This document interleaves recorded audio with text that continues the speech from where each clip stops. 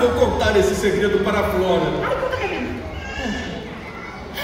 Acreditei, ideia, Pessoal, eu vou fazer uma charada para vocês. Vamos ver se vocês adivinham que música que o Pita me falou. Qual é a música mais cantada no